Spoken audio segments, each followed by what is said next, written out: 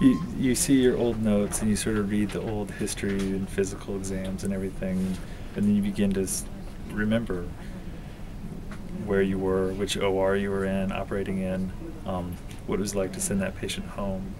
Um, yeah, there's a lot of stuff that comes rushing back.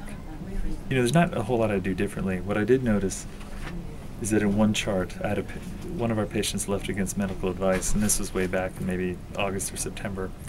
And uh, I remember thinking at the time, being a new doctor, I was like, oh, well, she left against medical advice. There's nothing more to do. And so she left, and we closed her chart, and that was the end of that. I didn't realize that I still had to, you know, dictate and actually document the whole hospital course while she was here, even though she left against medical advice. So that was sort of a rookie mistake. Um, but I, I looked through it. I don't know. Um, through the course of the year, my notes have gotten more concise. Um, you know, sometimes shorter is better. Sometimes shorter is worse. But I think they, I think they're more concise, but they're more packed with the salient details. So that's a pretty good measurement of success. The notes are a lot less fluffy.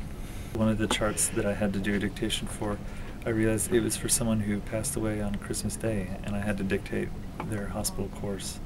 And um, I remember working on Christmas Day, and then I, you know, it all kind of comes back that that was one of the first people I had to go and declare and, you know, pronounce dead and fill out the death certificate for.